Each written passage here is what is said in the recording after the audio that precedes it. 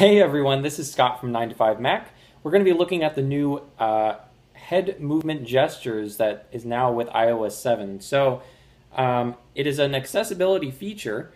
Uh, if we go into the settings, we're able to actually go into the, the accessibility and then switch control. And then from there, you'll see we have the option of switches. And one of them I have set as the left head movement. And I've also made it that when I move my head to the right, it's going to act as a home button.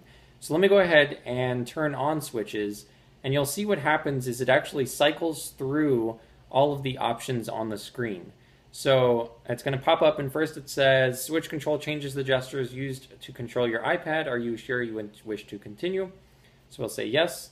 And now what it does is it actually runs through all of the options on the screen and highlights them or puts a border around them. And when I move my head to the left, it actually selects it. So what I'm going to do first is actually move my head to the right so then it acts as a home button and brings me home.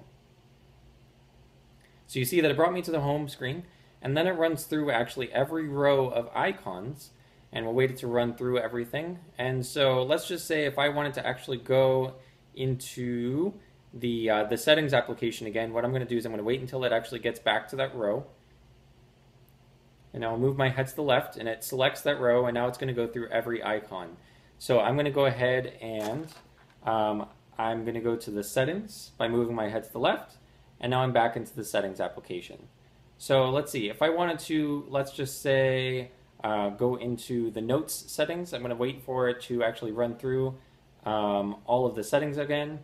So it's going to go and hover over into notes. I'll just wait for it to go through.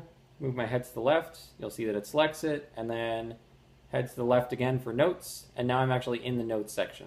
So just like that, this is how the head movement works. It's definitely an accessibility option. As you can see, it does have errors where right now it just shows the maps, which I didn't mean to do.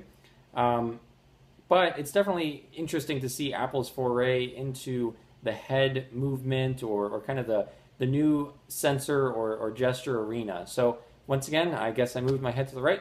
This is Scott from 9 to 5 Mac. Thank you.